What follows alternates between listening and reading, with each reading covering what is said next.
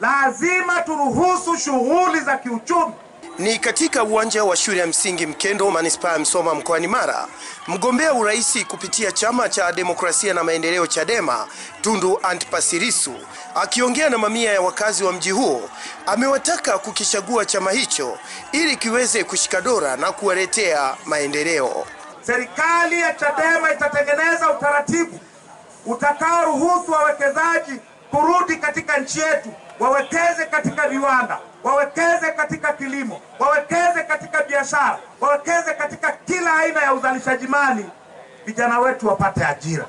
Aidha, Lissu amesema kuwa sera ya haki na usawa katika kila raia inakwenda kulifanya taifa hili kubadilika na kuwa na uchumi mkubwa. Namna ya kutatua matatizo yetu ya kiuchumi ni kuhakikisha wafanyabiashara wetu wanalindiwa mitaji yao ili wawekeze, tupate wapate vijana wetu wapate ajira zaidi.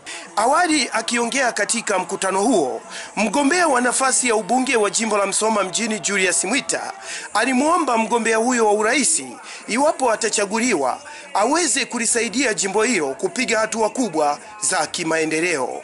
Watu wa Musoma